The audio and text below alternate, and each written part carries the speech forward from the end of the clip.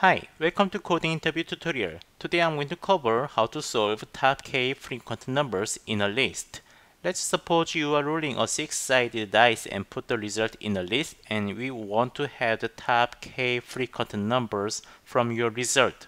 For example, let's say you're playing this dice game and uh, your uh, result from playing dice, like you roll the dice and the result was 3, roll the dice and the number was 2 and 3 1 2 5 3 6 2 4 in this case you have the 3 times of 3 and 3 times of 2 right? So if k was 2 that means we want the top two frequent numbers you will return like 2 and 3 that's the requirement of this problem uh, the objective of this problem is to find if you are familiar with the dictionary or sorting. Uh, for example, the first approach of this one is going to be using the dictionary and the sorting. The time complexity of this one is going to be n log n because you involve the merge sort or the quick sort and this takes like n log n which I'm not going to use in this uh, video tutorial. I'm going to use dictionary plus iteration plus uh, iteration of dictionary uh, k times. In this case, the time complexity is going to be k multiplied by n and since it is dice the dice has six sided right so k the worst case is six and the six is constant number so it's similar to order n so in this video, I'm going to use the approach tool here and I will show you how we can implement here. Okay, so I'm going to implement one function here, top k frequent number. I'm going to get the nums and the k. Nums is the result from your dice game and the k will be the, the most top k frequent number. Okay, first what we need to do is to create dictionary the dictionary is going to be num map here. I'm going to create a dictionary for dice. 1, 2, 3, 4, 5, 6 and uh, I'm going to initialize this one as 0 0 0 0 0 0 and 0 so we need initialize this dictionary and we want to put these values with uh, our dice game result.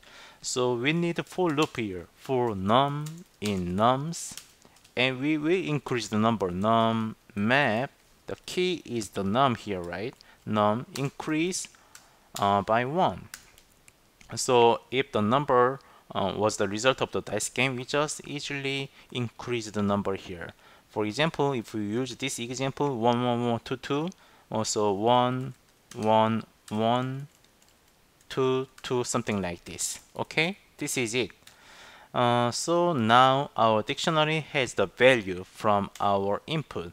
So let's create a value, return value here, and let's put the return value from this while loop, while k is greater than 0.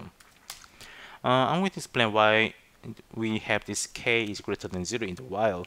So firstly, we need max frequent as 0 and the max key as 0 because we want to compare this max value with current um, maps keys value and see if this value if this uh, dictionary's value is greater than this max frequency then we will easily replace these values. Uh, how to do it? I'm going to have the for loop here for key in num map. And if if num map uh, key so the this key's value is greater than the max frequency as I just said. Then I just replace this value. Frequent is going to be the num map key the value of this key and the max key uh, is going to be current key okay? And we just replace we just uh, append this max key to the return value. And importantly we need to delete num map max key. And then k minus 1 because let me explain this one. What's happening here? So let's say we have the dictionary like this and we have the 2 as 3 3 as 3 and the other numbers and 1 here. From the first example of this one right? From first example of this one. So from here because the last number of the max frequency was 2 so we have the 2 in here red append uh, max key. The max key was 2 and we want to delete this one and k minus 1 so k was originally 2 now k is 1 and the same iteration now this program will choose 3 here right? So we put the 3 in the return value and has four values and the k minus 1 now k is 0 so it will go out from the while loop. So after this while loop we just basically return lit here. Okay so see how it's working. So I'm going to exactly use this example here.